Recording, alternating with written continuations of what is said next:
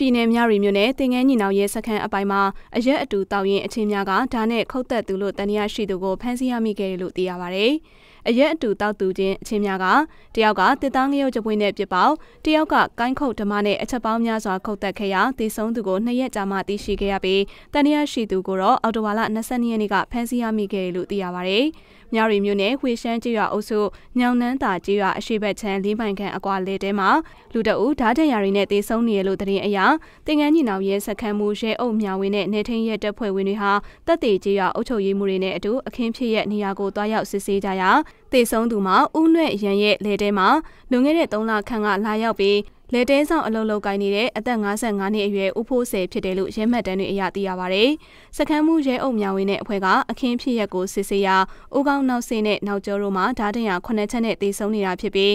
သွေးတွေခဲပြီး၆ကက်နေတဲ့အတွက်လွန်ခဲ့တဲ့နှစ်ရက်ခန့်ကတေဆုံးတာဖြစ်တယ်လို့မှတ်ချက်ပြုခဲ့တယ်လို့သိရပါဗျ။တင်ငန်းကြီးနောင်ရဲစခန်းကရဲအုပ်မြောင်ဝင်းနဲ့အဖွဲ့ဟာ တရားခံဖမ်းဆီးနိုင်ရေးအတွက်ဆက်လက်စုံစမ်းရမှာအရက်အတူတောက်သူဦးမင်းဆိုသူကိုတန်ရတရားခံအဖြစ်ဖမ်းဆီးခဲ့တာဖြစ်ပါတယ်။ရက်ွက်လူကြီးတွေရှိမှစစ်ဆေးရာဦးမင်းက၎င်းတို့နှစ်ဦးဟာအော်တိုဘာလ19ရက်နေ့ညနေကအရက်အတူတောက်ခဲ့ပြီးဦးဖိုးဆယ်ကဆဲဆိုပြီးတစ်သားငရုတ်ကြပွေးနဲ့၎င်းကိုပြစ်ပေါက်ခဲ့ရာမျက်လုံးအနီးဖူးရောင်တရားရရှိခဲ့ကြောင်းအဲဒီနောက်ဒဇင်းနဲ့ပြစ်ပေါက်မယ်လို့ပြုစဉ်အသင်တွေ့ရတဲ့ကိုင်းခုတ်ထားနဲ့ဦးဖိုးဆယ်ရဲ့ဝဲဘက်နှစ်ဖူးကိုခုတ်လိုက်ကြောင်းနဲ့ရှေ့ကိုငိုက်ကြသွားစဉ်အချက်များစွာခုံမိပြီးအဲဒီနောက်နေအိမ်မှာပြန်နေခဲ့တယ်လို့ထွက်ဆိုခဲ့ကြောင်းရဲမှတ်တမ်းတွေအရသိရပါဗျ။ဒီဖြစ်စဉ်နဲ့ပတ်သက်ပြီးအသက်45နှစ်အရွယ်ဦးမင်းဆိုသူကိုတင်ငန်းညီနောင်ရဲစခန်းကပါ460နဲ့မြင့်ဆောင်2019ရာဇသက်ကြီးဥပဒေပုံမှ302နဲ့အမှုဖွင့်အရေးယူစစ်ဆေးနေရလို့သိရပါဗျ။